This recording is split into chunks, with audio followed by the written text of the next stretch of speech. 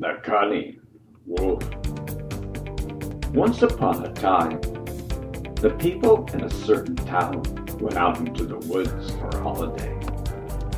They took a basket full of good things to eat. But when noontime came, they ate all the meat they had brought with them, not leaving any for supper.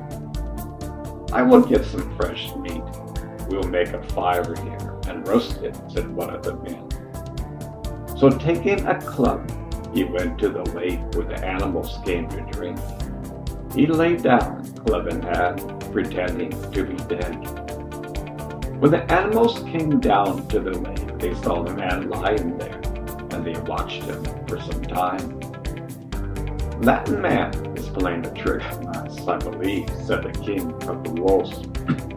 the rest of you stay here, while I will see whether he is really dead or whether he is pretending to be dead. Then the cunning king of the wolves crept up to the man and slyly pulled at his club.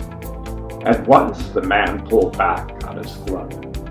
Then the king of the wolves ran off saying, If you had been dead, you would have not pulled back on your club when I tried to pull it away. I see your trick you pretend you're dead so you may kill one of us for your supper. The man jumped up and threw his club at the king of the wolves, but he missed his aim. He looked for the other animals, but there was not one in sight. They had all run away.